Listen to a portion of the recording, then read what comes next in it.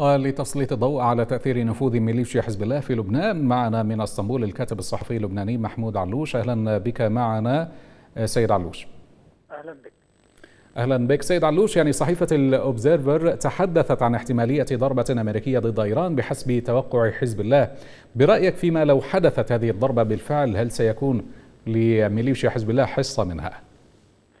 يعني بداية تحية لكم وتحية أيضا لمشاهديكم المحترمين. يعني حزب الله هو جزء من المشروع الإيراني في المنطقة وهو بالمناسبة لا يخفي هذا الأمر. وبالتالي يعني في حال تعرضت إيران لأي ضربة عسكرية أو كانت هناك أي رغبة إيرانية في استثمار حالة حزب الله في لبنان فبالطبع يعني حالة حزب الله ستكون قيد الخدمة بالنسبة للإيرانيين وبالتالي في المحطات الكبيرة التي تتعرض لها إيران سواء لضغوط أو لعمل ما. نجد أن يعني أحد أفرعها أو أحد وكلائها في المنطقة هو حزب الله عادة ما يقوم بردة فعل بطلب إيراني. وبالتالي اليوم في حال حصلت هناك أي ضربة عسكرية لإيران أو اشتدت الضغوط عليها سواء حتى الضغوط السياسية فأعتقد بأن إيران قادرة على الرد في لبنان سواء كان هذا الرد بشكل سياسي عبر عرقلة تشكيل الحكومة أو بشكل عسكري لكن عموما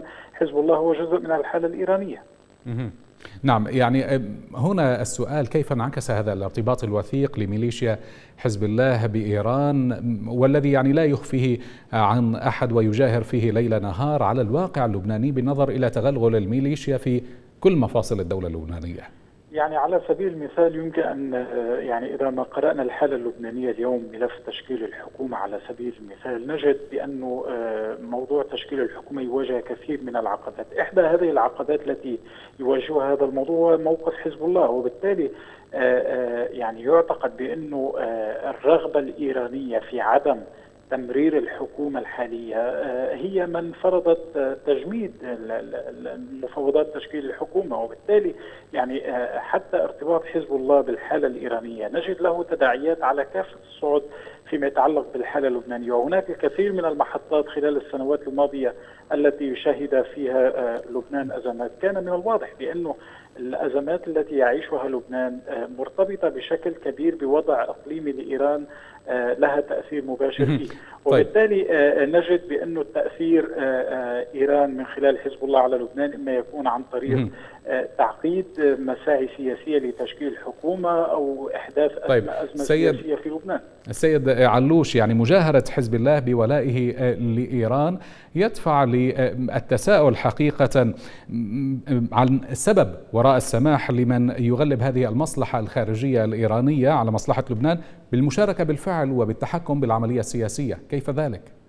يعني اولا علينا هناك واقع لبناني لا يمكن لأحد أن يعني أن يتجاهله أو أن يقفز عليه، على الرغم من أنه حزب الله هو يعني حزب مسلح مرتبط بإيران بشكل كبير سواء من حيث التمويل أو التسليح أو حتى الأجندة العقائدية، إلا أنه يعني في لبنان هناك جزء كبير من الشيعة في لبنان مرتبطين بحزب الله. وبالتالي في الحقيقة أحيانا تكون هناك كما يحصل الآن مع عبد الحريري المكلف بتشكيل الحكومة رغم الضغوط الدولية والأمريكية على وجه التحديد المفروضه عليه لمنع إشراك حزب الله في الحكومة إلا أنه من الصعب جدا أن تعزل حالة حزب الله عن المشهد السياسي اللبناني لأنه حالة حزب الله ليست فقط حالة حزب بقدر ما هي تعبر عن حالة طائفية في بلد مركب طائفيا ولا يمكن للأمور أن تسير به من دون توافق طائفي إن صح التعبير. وبالتالي هناك نقطة مهمة أعتقد بأنه حزب الله منذ نشوئه في لبنان سعى لأجل تحقيقها وهي أنه جعل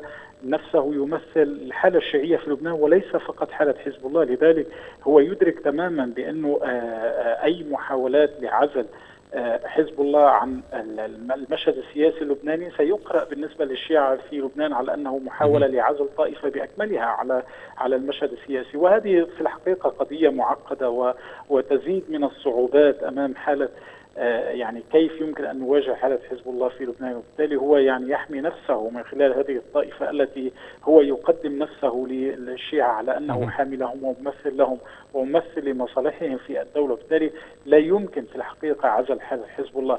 أنا أعتقد بانه الطريقة الأنسب الآن للتعامل مع حالة حزب الله في لبنان هو عدم إخراجه بالمطلق من المشهد السياسي. وفي نفس الوقت فرض يعني خطوط حمراء لطبيعة دوره في المشهد السياسي وأيضا لانخراطه الإقليمي في المشهد شكرا. الخارجي، إذا ما أراد حزب الله أن يكون جزء من الحالة اللبنانية وأعتقد بأنه عليه أن على الأقل يلتزم بالحد الأدنى من المعايير اللبنانية في التعاطي شكرا جزيلا لك شكرا جزيلا لك الكاتب الصحفي اللبناني محمود علوش. كنت معنا عبر الهاتف من اسطنبول.